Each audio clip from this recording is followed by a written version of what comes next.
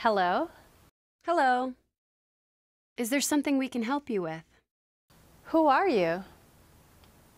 My name's Ada. And I'm Grace. We're your virtual museum guides. With your help, we can suggest exhibits that will get you thinking or answer questions about things you may have seen here. What do you want to learn about? What can I do with here? Here at Computer Place, you can command a robot to do a Mars mission and program another one at Robot Park. And don't forget the one that remembers meeting you. What do you want to do first? How do you understand what people are saying? We're virtual humans. We use speech recognition technology to identify your words and then. And use statistics to figure out the meaning of the words based on context. Once we know what you're talking about, we'll reply appropriately. The same way you ask a question or tell a story to your friends is the same way you can speak to us.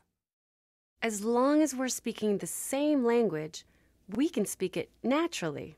Like, you could ask, Where's Robot Park? Or, Could you tell me where Robot Park is? Both are looking for the same answer. How did you get your names? Our namesakes are Ada Lovelace and Grace Hopper. Yeah, they may be old fashioned names, but both are from the most modern computing women of their time. In the 1800s, Ada Lovelace predicted that computers would someday help us write music and create art.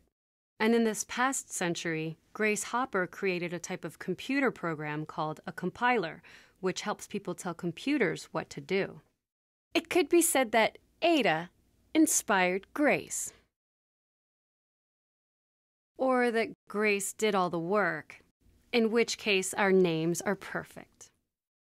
Do you have boyfriends? Why? Is there another virtual human you think we should meet? I hope they're into neural networks and amino acid sequences. Grace, what's wrong with just charming and generous? Okay, that's all. Goodbye. Thanks for coming by.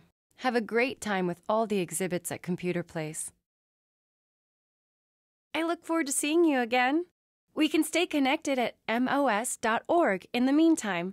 Have fun!